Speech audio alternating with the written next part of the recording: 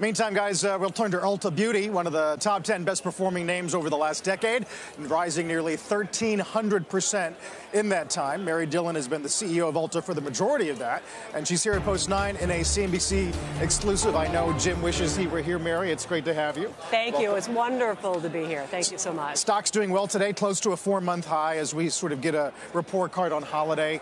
Are we are we starting to answer for those middle of the year, last year concerns about the category, about makeup? Well, let me step back and say we are thrilled about the 10 year run that we've had, but we think we have so much runway ahead. But if you go back in the last 10 years, we've gone from about 300 stores over 1,200. Our sales went from a billion to over 7 billion.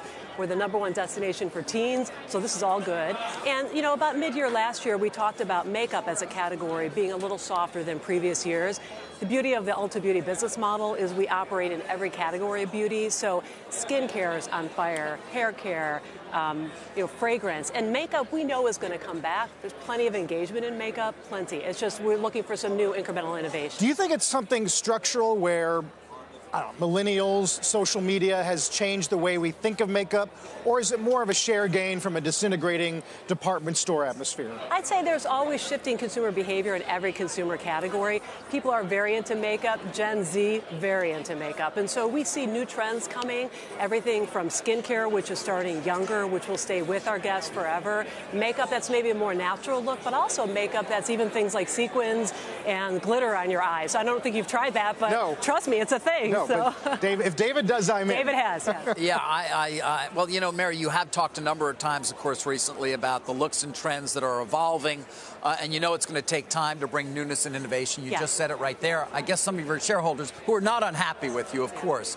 nonetheless want to sort of get a better sense when is that newness and innovation going to then mark an uptrend in the category yeah. that's been down for what a couple of years now? It's, it's been down for the last year a bit, just makeup. But again, beauty in total is up. Let me reiterate: we are gaining market share in makeup and in every category. So our business model, we know, is really set for the past 30 years as well as the future 50 years. And so it'll just take a little bit of time, but uh, we're not concerned about it. What we see happening, like I said, is younger consumers getting very engaged in skincare. That's a trend they're going to keep with them their whole lives as they then get into the makeup business as well. So our brand partners, big and small, are have all sorts of innovation coming. You know, it's a, can't say exactly when, but we feel confident. It's a, you know, these are cycles. Cycles happen in businesses all the time. Jim? Mary, uh, there's something first of all, congratulations on all, all of your success Thank over you. the years. Uh, a lot of companies, even great retail companies, try to get to have 10, 12, 15 million loyalty people. You have more than 10% of the country in your loyalty plan. How's that possible? Well, thank you for asking. We have over 33 million beauty enthusiasts passionately in our loyalty program, Ultimate Rewards, because we think we offer a great program that they love. Our store teams really help educate our guests about the benefits of it. And over time, we've been investing in capabilities to make the offers to our guests even more personalized and relevant every day. So we surprise and delight them. We encourage them to come and spend, you know, with Ulta Beauty, and it's showing in the numbers. We're driving market share gains our brand awareness is at an incredible high, and teens love us, and that bodes very well for the future. I love the site. There's some great, some great bargains. Thank you. You've you've done something else that I think is incredible. You realized that there wasn't a lot of innovation in some part of cosmetics you just like Fabrizio Freda, who is a great CEO, I know works closely right. with you at Estee Lauder, you were able to pivot to skincare. I don't think people recognize how incredible that was. Could you? I know. I mean, I'm going to brag for you. Most people couldn't make that adjustment in a quarter. You did it. Uh, how much better? The margins in skincare are pretty good, aren't they? Well, sure, they are. And I give a lot of credit to my team. You know, we're always out learning about what's hot and what's happening in beauty. Skincare, and as you mentioned, Fabrizio is an expert at knowing global beauty trends. It's been a trend for some period of time. So we've been participating.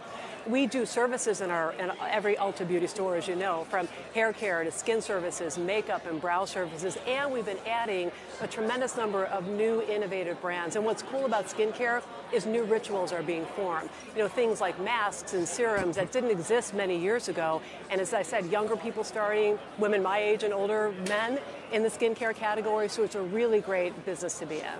Can you comment directly on holiday and uh, your inventory strategy going into this year? What does that look well, like? Well, you know, listen, we're still in the quarter, so I can't say a lot about it. But holiday is a great time of year for Ulta Beauty because we can participate in gift giving as well as we call it glamming. So when you're going to all the holiday events, the thing that I will say about holiday is, like many retailers, we've seen that consumer shopping patterns continue to evolve, and retailers who are set up well to have a great in-store experience, a great online experience, and omnichannel, the ability to buy online and pick up in store that we are set up to do all of that, and that was very helpful for us throughout holiday. You mentioned the number of locations, but is physical presence less important? Yeah, such a great question. And listen, we believe, I believe to our core, that beauty is an experience that will always be physical and digital and emotional and about really human connection. And so the vast majority of our sales happen in our stores. Why? Because our guests love to come and try, you know, look at a color, smell a fragrance, have an experience with one of our associates. That's cool. But they also need to make sure that we can be conveniently uh, ready for them whenever they need it. So we need to play in all places, and, and, our stores are doing quite well. Yeah. So that said, I'm curious as to how you think about expansion from here. What over 1,200 stores? I know the Canadian market beckons as well. I mean, how should we be thinking about 2020 in terms of store opening? Yeah, we plan to continue to grow in the U.S. We've stated publicly that our range is, you know, 14 to 17 1,700 stores in the U.S. We think we have the potential to be at that level, so more coming. And then we've already announced that we plan to become a global beauty retailer. So Canada is first up to bat, and we can't divulge a lot of details right now, but we're in the process of getting ready to launch in Canada, which we think is going to be a fantastic market for us. Jim's got one more question. Yeah. Jim? Mary, uh, you anticipate a lot of trends. And one of the things that I found is, is that younger people – they are going away from what I regard as being the long label cosmetics. Uh, you are ready with vegan, ready with cruelty free. You are addressing uh, basically the environmental issues. How is that working? Because I think a lot of the younger people are turned off by tradition. Well, you're absolutely right. The trend about clean is here and it's here to stay in beauty. I started my career in the food industry. It took a long time for, I'd say, natural and organic to become mainstream, and obviously it is now. In beauty, it's happening. We're participating with so many exciting brands. We just launched a brand called Thrive Causemetics, which is vegan and cruelty free. We have many brands that we uh, offer to our guests in that place, we know that's a trend that's going to continue, whether it's in skincare, makeup, or everything in beauty.